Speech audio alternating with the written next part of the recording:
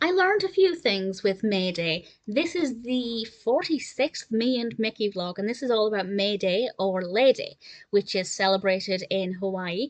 And I have to say, other than being aware of what leis are, I didn't really know the significance of them or why they were given to people, and I learned a bit. I obviously won't spoil all of the facts that Mickey shares in this very short short, but um, I thought it was pretty educational. And the bulk of it is actually taken up with learning how to do a hula.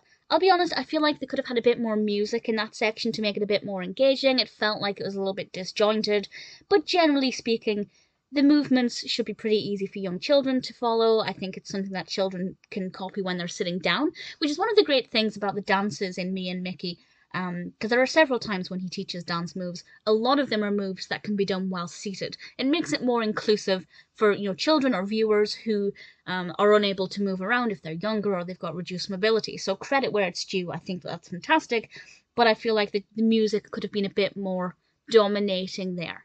Um, it would have also been a better way to focus on some traditional Hawaiian music as well. There are a couple of other missed opportunities. For example, Mickey, Mickey asks the viewer what their favourite colour of flower is, and we have some beautiful floral animations, but he doesn't name any of the colours. So there's a missed opportunity for learning there, but it's nice that there's some viewer involvement.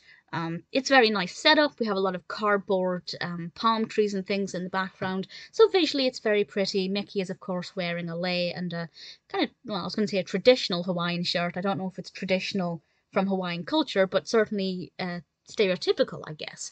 Um, so it's a good episode. It is educational. There are some, um, you know, language opportunities, the opportunity for the dancing and things. So it's definitely a really, really thorough episode. Maybe a few missed opportunities, but generally not bad.